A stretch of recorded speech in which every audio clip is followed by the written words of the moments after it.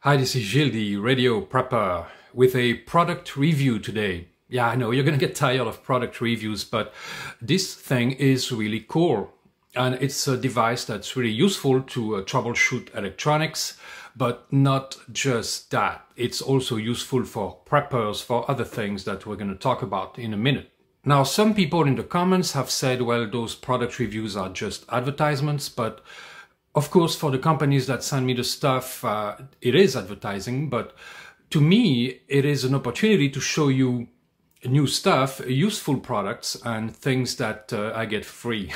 but the difference between uh, a product review and advertisement is that for a product review, I can say whatever I want about the product.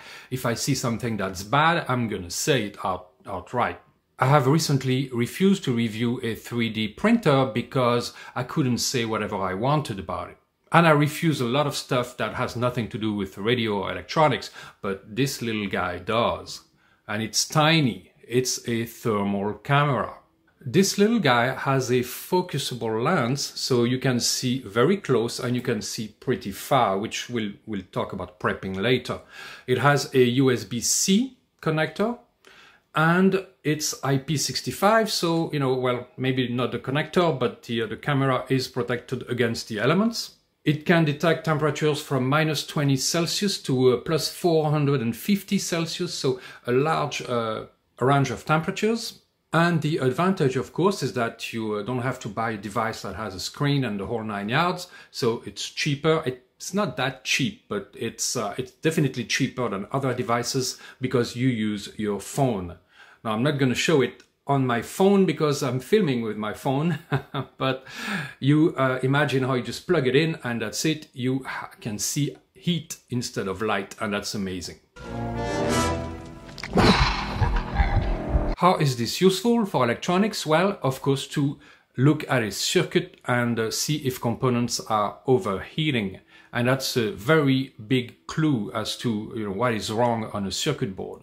And that's its main use for electronics. Of course, you could use it for mechanical things like, you know, to detect friction that produces heat because it will detect any source of heat and we are going to see that right now. As an example, here's my uh, Wi-Fi router and my Mac Mini.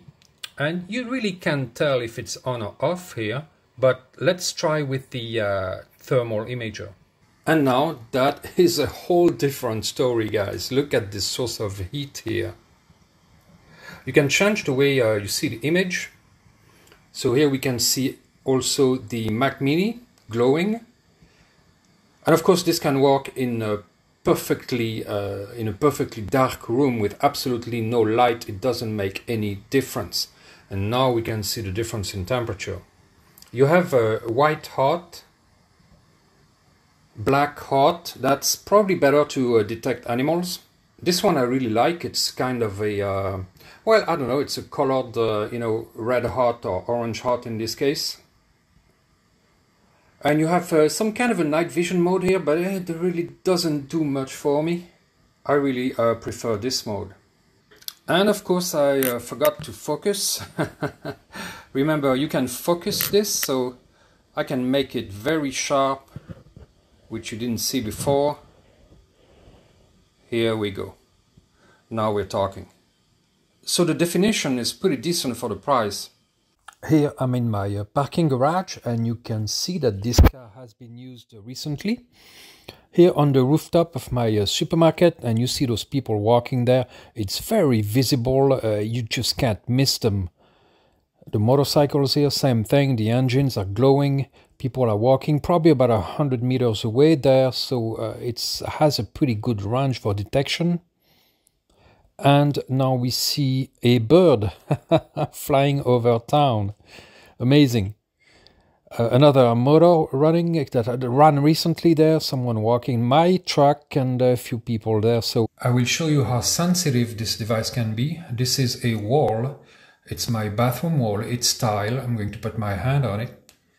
One prairie doggy, two prairie doggy, three prairie doggies, four prairie doggies, five prairie doggies. And yep, you can see the uh, residual heat of my hand here. I will show you how I plug it in. So just in the uh, USB-C here, the app will pop up automatically. And then I have the image showing up. Okay, here we go.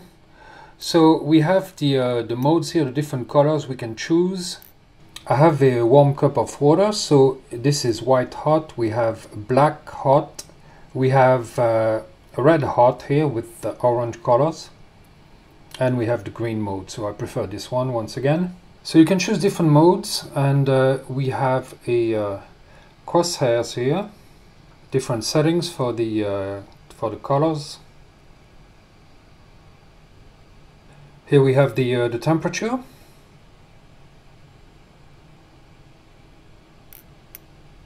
And of course uh, we can take uh, photos here and videos. And you have access to the settings which are numerous. Uh, you can do a lot of stuff with this. The app is uh, pretty easy to use. I didn't even uh, look at the manual but hey that's what we men do right by the way, when you get this model, you get a, a, handle here that's really useful. Actually, I'm going to use this for filming. And uh, you put your phone here and the camera right there, and you can just point it to wherever, you know, what you want to detect. The photos and videos produced are HD and it can show you the actual temperature of the components. Am I going to use this for electronics? Yes, definitely, but probably not very often. So I wouldn't buy it personally just for that. I mean, except if I worked in a lab all day, you know, every day. But I just build a kit once in a while. So to me, it's not worth the price. But it is worth the price for detecting humans and animals. So for prepping, it's an absolutely invaluable tool because, of course, you know, you can imagine if you're hunting small game at night or, uh, you know, when it's not that bright or, you know, even a rabbit hiding in a bush, you might not see it if it's not moving. But with this camera, you, it will glow like red coals, you know, and for people hiding in the bushes, uh, you can see them too to me, it is a dual use system, you know, electronics on one side and prepping on the other. And I probably would have gotten one of those uh, devices sooner or later. I'm not sure if I would have uh, gotten one with a phone, maybe like more of a monocular, but I think iRay uh, has products like that. So uh, check out their website. I'll put the link down below. I think they're going to have some uh, big discounts uh, for Black Friday. Alright guys, that's it for this video. So go check out the X-Infrared website. As to myself, I will definitely keep it. That's usually I give away stuff that I receive, you know, but uh, this one I'm keeping for myself because uh, it's going to be very useful and I'm going to uh, test it out in nature. It doesn't weigh anything. It's just, you know, something like that in a backpack. Uh, you just forget about it. It's something that I definitely could see uh, having in my EDC. There are so many things it could be used for. The list is endless. Just use your imagination. Yes, it's a little bit of a gadget, but uh, definitely uh, the day you need it, uh, you're going to be happy you have it. Have a good one.